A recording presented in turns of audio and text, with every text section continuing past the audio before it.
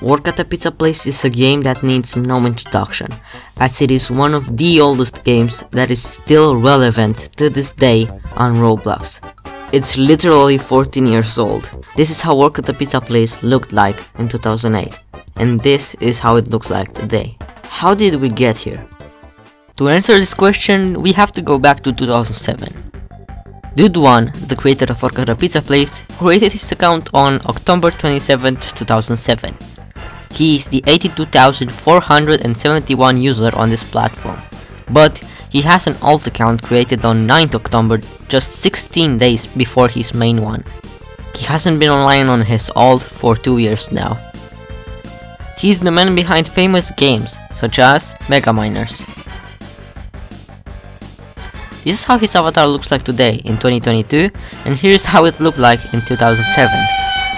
In early November of 2007, Dued1 released Work at the Krusty Krab, which is the predecessor of Work at the Pizza Place. The game is pretty self-explanatory, you work at the Krusty Krab, taking the role of Squidward, Mr. Krabs, SpongeBob, manager, and dishwasher. The game was pretty successful, as it hit 15,000 visits by the end of 2007. Work at the Pizza Place wouldn't probably exist nowadays if the game wouldn't get taken down in early to mid 2008. There's only one recording of the game I was able to find, which I have to thank Flexible Banjo, who runs the Roblox archive channel. The recording shows us both the only footage, probably, of the game, but also some of the first footage of a hacked Roblox server. Fun fact time!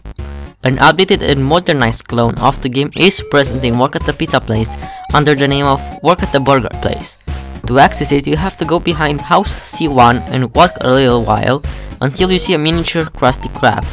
Once you go near it, you will get teleported to it. Work at the Pizza Place was created on March 28, 2008, but was a few different games before becoming what it is today. From around early to mid 2008, it was under the name of Script and Build Lab. Then, in around mid to late 2008, it was renamed to Next Generation Planes, and then just Lab near the end of 2008.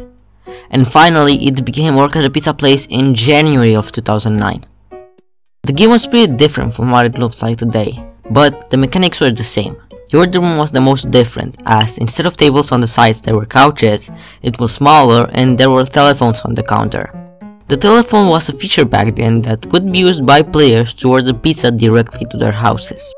Instead of cars, you would deliver pizzas using horses that you would operate by using the horse tool. You never spawned owning a house. Instead, you would have to go and press a button that said own this house. Also, there was an NPC just standing on the veranda that you would touch when you had to deliver pizza.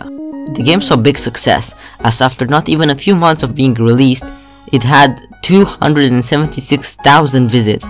Now to put that in perspective on how much this meant back in early 2009, the game was the 22nd most visited game on the entire platform. In mid-2009, horses were removed, which Dued1 replaced with cars because he thought horses were too primitive. You can now finally style your house with furniture. To buy furniture you had to chat shop while being on break.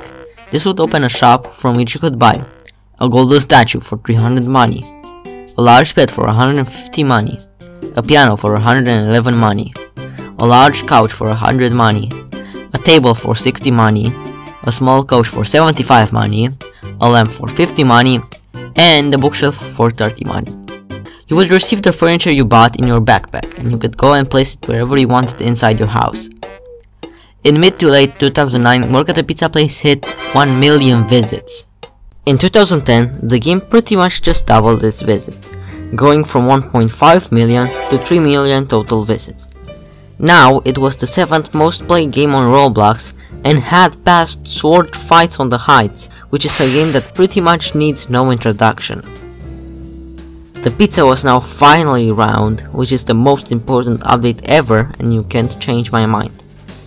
The order room was changed to something similar to what it looks like today, the game was starting to morph into what it is like today already.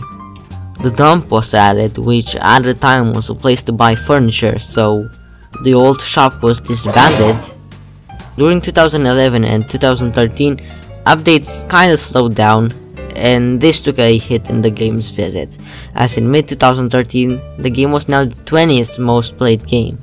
2014 would be the year it would climb back up, reaching 10 million visits in January, then almost 30 million in December. This year, the weird character standing on your veranda got removed, along with the telephone. Near the end of the year, Work at a Pizza Place was part of the Holiday 2014 event. In this event, you could earn the Joyful Bell helmet by taking 5 orders, cooking 5 pizzas, boxing 5 pizzas, and delivering 5 supplies. The item is unlimited now and sells for 1191 Robux right now. Also, Work at the Pizza Place was featured on a Roblox series called Roblox Game Reviews by Max. And uh This program was brought to you by Builder Brothers Pizza, not affiliated with Freddy Fazbear's Pizza in any way, shape, or form. 2015 was also a pretty good year for Work at the Pizza Place, as the game gained a total of 65 million visits, going from 30 million to almost 100. The game would be part of many events, such as the Teen Titans Go event, where you could earn the Robin mask by finding Tiny Robin, the Disney Infinity event, where you could earn the Pizza Place hat by delivering pizza 30 times in a single server, and the Blockstabber 2015 event, in which you could earn the Nerf bandana by finding a tiny zombie. Also, Zubers were added, which are basically pets. After 2015, Work at the Pizza Place would enter what I consider its modern era, with all the old features being replaced with new ones such as the old pizza conveyor and the old pizza branding. The game would go on to hit 100 million visits in January of 2016 and then 1 billion on October 11, 2018. It is the fourth game on Roblox to ever hit 1 billion visits and the first game to ever hit 100 million.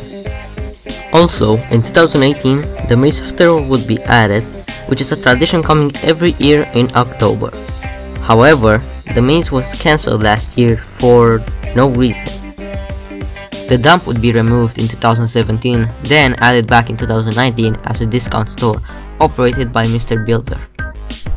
The last event that took place in Work at a Pizza Place was the Pizza Party event in 2019. In this event, you had to touch pizza that was shot by one of the four launchers. The event itself met a lot of controversy because, well, it kinda sucked. From this point on, no really major updates were added into the game. It's clear that the game went through quite a few changes over the years, going from a SpongeBob game to one of the biggest games on the platform, gaining from 1.5 to 4.5 million visits a month. I cannot wait to see what path it will take in the future and what it will morph into. This was the history of Work at Pizza Place. I hope you enjoyed the video and I'll see you next time.